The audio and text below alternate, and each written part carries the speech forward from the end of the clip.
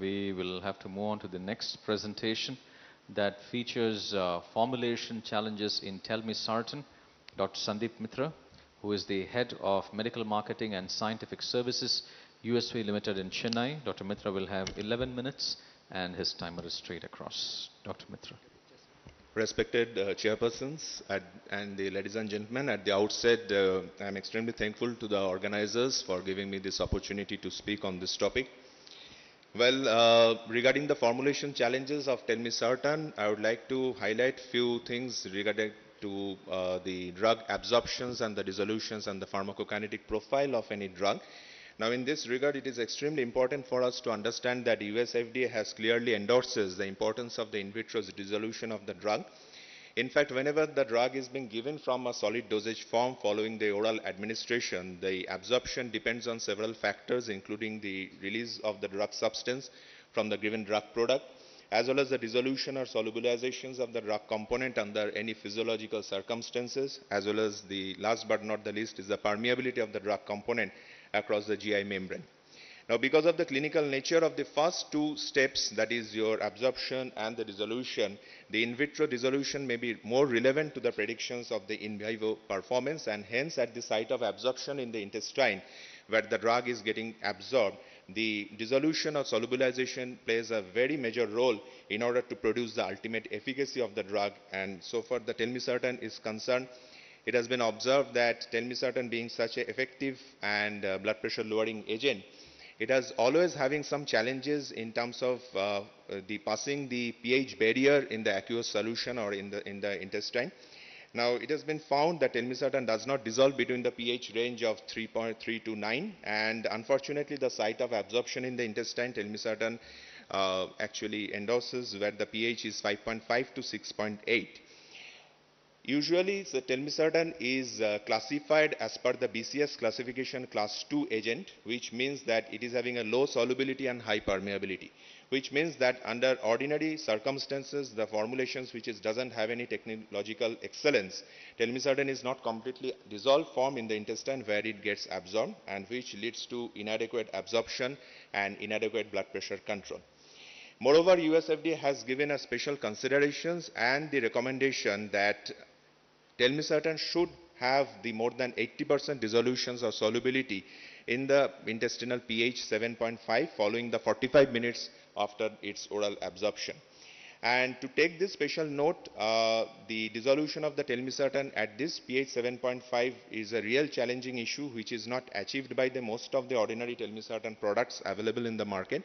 When we have done some kind of the assays both in the 40 milligram or the 80 milligram dosage, it has been found that none of the products are actually uh, going to pass the criteria given by USP or FDA. So therefore, the journey of the telmisartan following its oral administration in the gastric pH, it gets completely dissolved, but it tends to get precipitated due to the variations in the pH and the site of absorption in the intestine, which ultimately re results to poor dissolutions at the site of absorption and may fail to achieve the USFDA recommended criteria. Hence, less ionized form of the telmisartan is available at the site of absorption, leading to poor blood pressure control or the efficacy.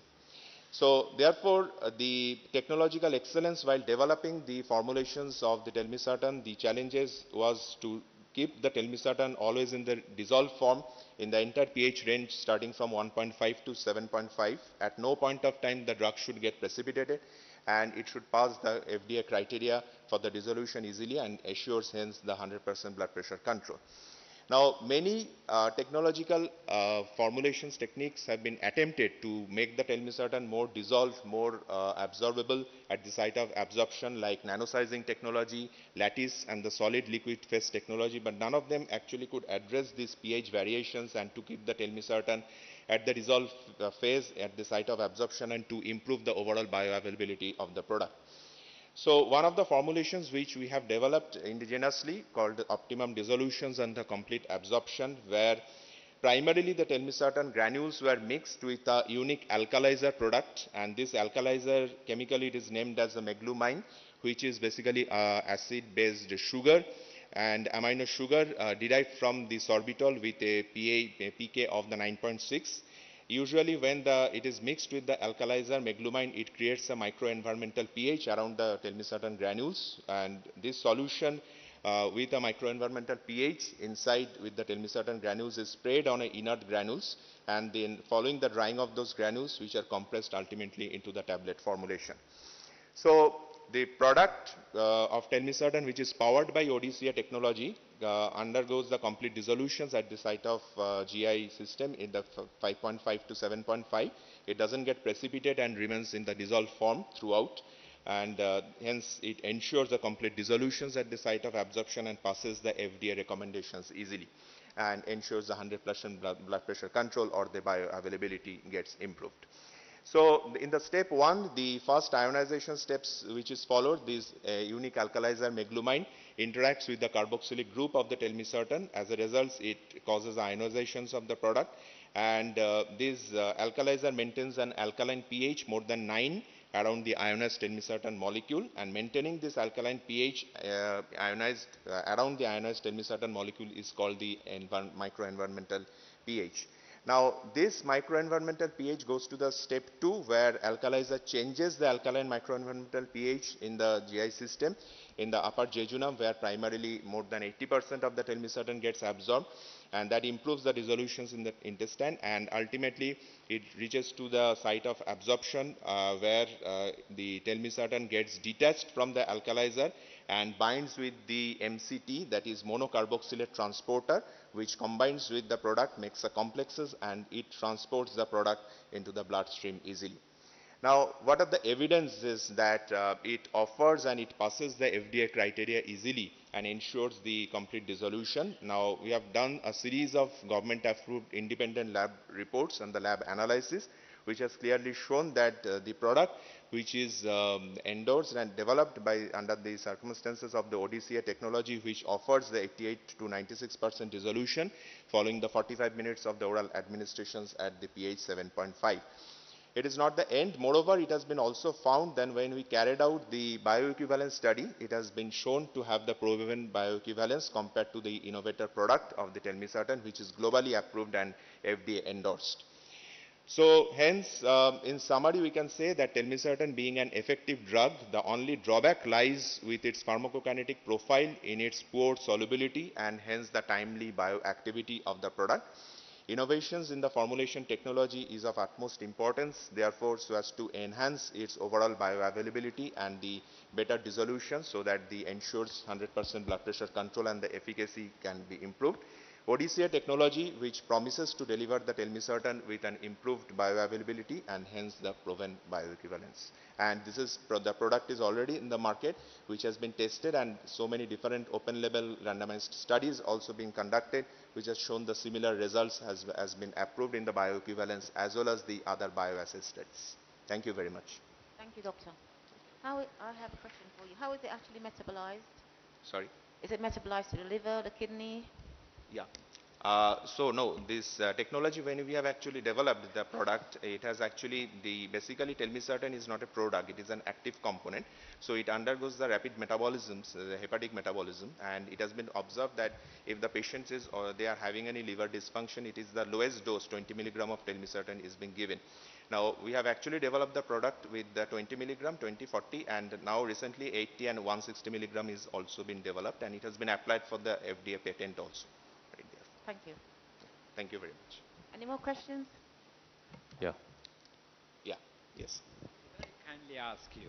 So you produce these particles which right. you saw. Yes. Then to make tablet, Right. you had to compress those particles and make them stick together. Right. But if you put them into t- capsules, the Yes. particles will be still there. Yeah. Capsule will bypass the duodenum Right. and get absorbed. Right. You would have saved a lot of problem and more importantly, you would have not put something to glue those particles together to make tablets. Yes. Yes. So in the capsule formulation, this is having a little bit of challenging issues in the pharmaceutical formulation. Therefore, certain products cannot be manufactured and developed in the capsule, capsule formulations rather than they are strictly to be developed in the tablet formulations only.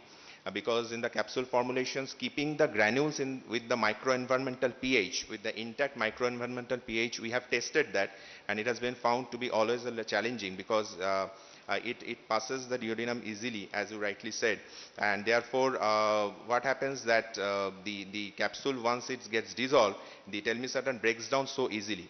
Because the problem with telmisartan being is, is a very active product when it comes in the contact of the aqueous solutions it always enhances that pH barrier. That means it is highly pH dependent. That means it gets solubilized either in the very high pH or at a very low pH so only when there's a, there is a pH variations is being observed in the GI tract this pro- product is having that problem it faces that issues you know you and and and it it becomes actually it becomes a highly unstable product whenever we manufacture in the capsule formulations Thank you very much. Thank, Thank you. you.